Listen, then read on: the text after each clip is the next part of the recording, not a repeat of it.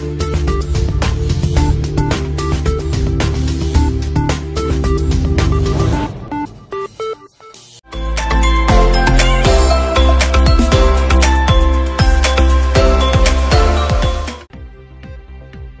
دنیا بھر کی طرح سعودی عرب کے ساحلی شہر جدہ میں بھی پاکستانی کمیونٹی کی خواتین نے سرطان سے آگاہی کے حوالے سے تقریب منعقد کی، جس میں بڑی تعداد میں طبی ماہرین، کمیونٹی خواتین نے شرکت کی۔ جدہ میں سرطان سے آگاہی کے حوالے سے تقریب کا انعقاد کیا گیا۔ استارد community senior member Tayyaba Imran نے کرتے ہوئے اپنے خطاب میں سرطان کی تدارک کے لیے بر وقت آگاہی مہم سے متعلق روشنی ڈالی۔ تقریب سے ماہر غذائیت ادیا وحاج نے خطاب کرتے ہوئے چھاتی کے سرطان کی ابتدائی مرحلے سے آگاہی اور اس کے بچاؤ کے لیے تشخیص، متوازن غذا کا استعمال، جس میں ہری سبزیاں، گاجر، لہسن، لوبیا، دالیں حریر اور دیگر صحت بخش غذائیں شامل ہیں۔ خواتین کو آگاہ کیا۔ تقریب میں شریک خواتین میں آگاہی سے متعلق پینل مباحثے کا بھی اہتمام کیا گیا اور سعودی عرب میں بریسٹ کینسر کی بر وقت تشخیص کی موجودہ سہولت، Saudi data and A I authority artificial intelligence کی مدد سے میموگرافی کو تفصیل سے دیکھنے کا نظام جو سرطان کی تشخیص کرتا ہے، اس کو بھی سراہا کیا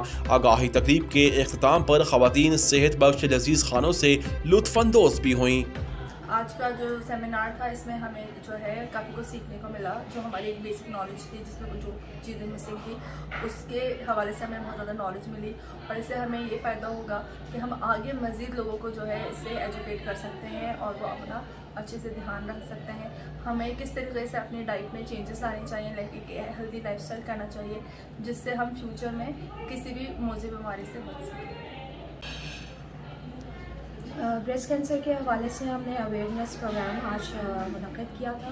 اس میں ہمارا مقصد تھا کہ خواتین کو اس چیز سے آگاہی حاصل ہو کہ بریسٹ کینسر کے لیے بر وقت تشخیص بہت ضروری ہے اور اپنی ڈائٹ میں، اپنی لائف سٹائل میں کچھ ایسی چھوٹی چھوٹی چینجز لانا ضروری ہے جس سے اس بیماری سے بچا جا سکے اور کسی بھی خاص قسم کی غذا سے ہم اس سے نہیں بچ سکتے لیکن مختلف غذاؤں کے استعمال کے ایک پراپر ڈائٹ بیلنس ڈائٹ کو اگر ہم اپنی ڈیلی لائف میں استعمال کریں تو اس چیز سے بہت حد تک بچا جا سکتا ہے۔